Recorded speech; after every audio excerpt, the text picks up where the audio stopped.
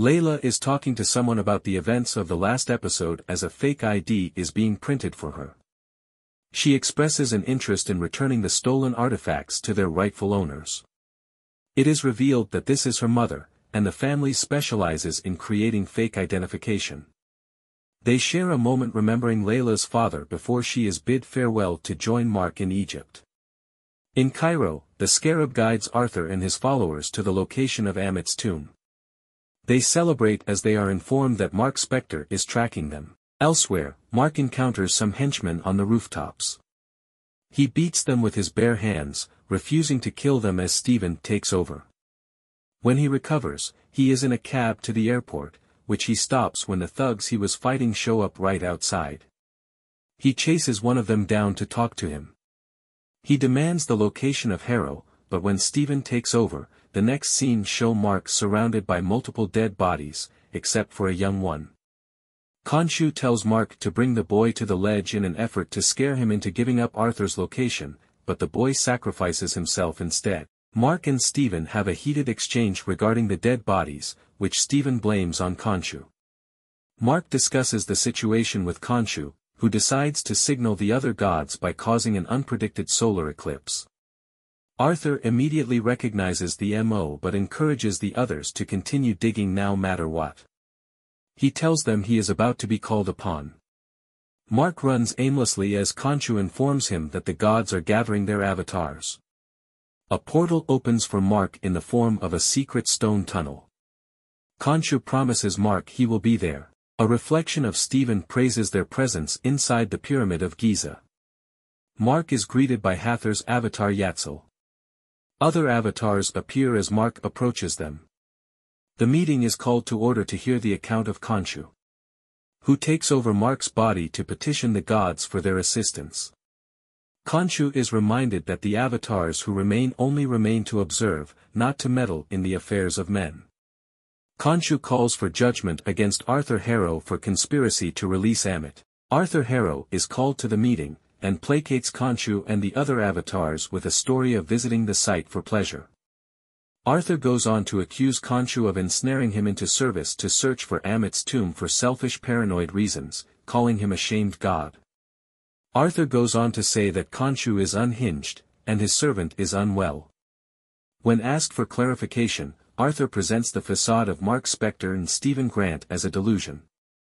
Khonshu attempts to shout him down, ultimately attempting to attack him, but he is prevented from committing violence in the chamber.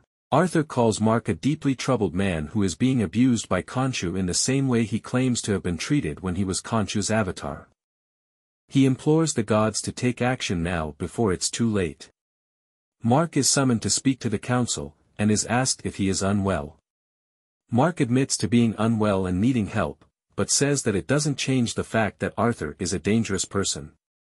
Marc is told that Arthur has committed no offense in the eyes of the council, and the matter is concluded.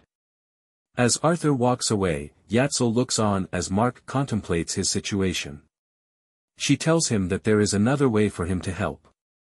Yatzil tells Marc of the Medjay named Senfu was tasked with recording the location of Ammit's tomb. If Marc can find Senfu's sarcophagus, he should be able to find Amit. Senfu's sarcophagus was sold on the black market, so Marc begins on the streets of Cairo. When he asks the location of Senfu's sarcophagus to a juice vendor, who cautiously backs away as Layla surprises Marc from behind. Marc warns her of the dangers of being there as Khonshu watches on. Marc and Layla ride on a boat as they discuss the situation. Layla tells him that she only wants to stop Harrow. Marc apologizes to her and asks about Mogart, the collector of antiquities they are going to meet. They reminisce about their wedding, and Layla asks Marc about his alternate personality Stephen. She reminds him that they could have worked on it together if he had told her about it. Marc suggests that it may be too late now as they dock. Marc leaves his bags below the dock as he notices a raft following them. Layla suggests it could be Harrow's men following them. They go over their cover story. Layla greets her connection Beck, who leads them to Mogart. They observe Mogart training in combat on horseback. Mogart dismounts and greets Layla, who introduces Marc to him as her husband, Rufino. When asked what his interest is in the artifact, Marc says he only wants to look. As they are looking at the sarcophagus, Marc engages Stephen in a private conversation through reflection. Stephen instructs Marc to touch some pieces in the sarcophagus, he is stopped by Beck and Mogart who hold him at gunpoint. Beck speaks to Mogart, who remembers another party interested in the sarcophagus. It is Harrow, offering to include Mogart and everyone else in the treasure of Ammit in exchange for the sarcophagus. Though they try to argue, Arthur admonishes Layla and Marc further. The gems in his cane begin to glow as he leads his men to the sarcophagus. Meanwhile, Khonshu is encouraging Marc to summon the suit and give them what they want. Harrow offers to show Mogart the power, which Mogart accepts. Harrow holds up his staff and chants an incantation before the sarcophagus explodes. As he walks away from the explosion, Moon Knight appears. Beck gets Mogart away from the scene as Moon Knight and Layla engage the security team. Layla takes the opportunity to raid what's left of the sarcophagus, but she is interrupted by Beck. Stephen forces a takeover of the suit, and is immediately impaled by two spears. Layla fights back until she ultimately stabs Beck. Marc takes the suit back and continues to engage Mogart's security before he arrives ready to joust. As Mogart charges, Moon Knight grabs Layla and throws a spear into Mogart's back. The two leave.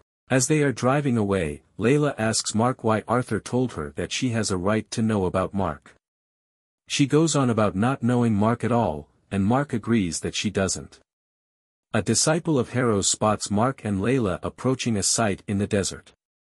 Marc and Layla try to piece together the swatches of cloth to put the clue together. Marc rips the rearview mirror off the Hummer to summon Stephen. Stephen immediately takes out packing tape as Layla approaches him. When he notices her, he tells her how the Egyptians invented modern navigation before revealing to her the star-shaped map he was able to tape together. Stephen suggests that that constellation merely shows its position at the time of the burial. The stars drift over time, which means that they would need to know where the constellation would have shown up back then. Khonshu suddenly tells Stephen that he remembers that night. Stephen follows Khonshu with Layla close behind.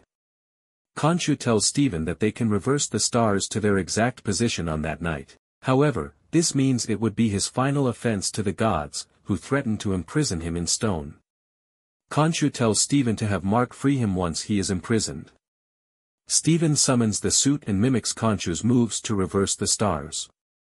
As it is happening, Layla is able to find the location on her tablet. Meanwhile, the avatars of the remaining gods begin to transfer Khonshu into a stone relic.